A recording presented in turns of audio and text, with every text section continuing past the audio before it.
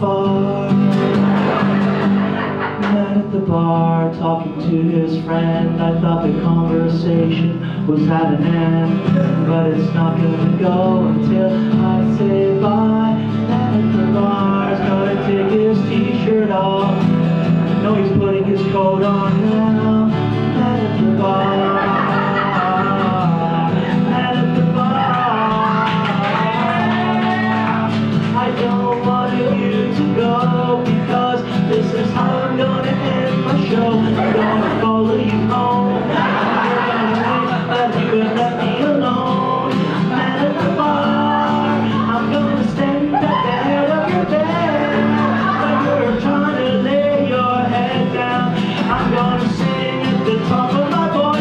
You're the man at the bar.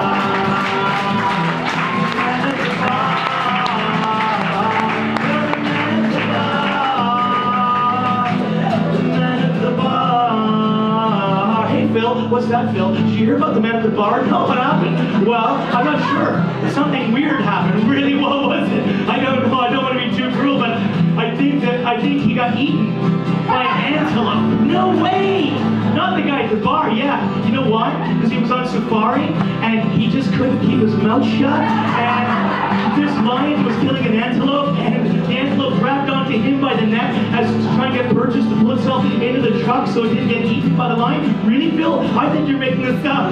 I am. mad at the bar.